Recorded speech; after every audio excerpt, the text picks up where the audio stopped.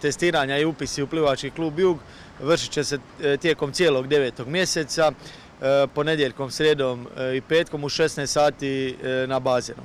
Ono što je bitno znati za roditelje, to je da obzirom na ovu cijelu situaciju u kojoj se trenutno nalazimo, znači potrebno se da bi se izbjegli gužve najaviti preko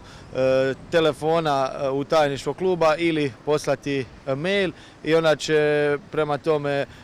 dobiti termin po kojem će doći na testiranje. Ulazak je sa ove strane od bivšeg kolodvora, odnosno strane gdje je sad ova zgrada Tomija i roditelji kad dođu s djecom pričekaju dolazak trenera koji će ih onda uvesti i objasniti sve detalje oko testiranja. Što se tiče nekakvih stvari, znači roditelji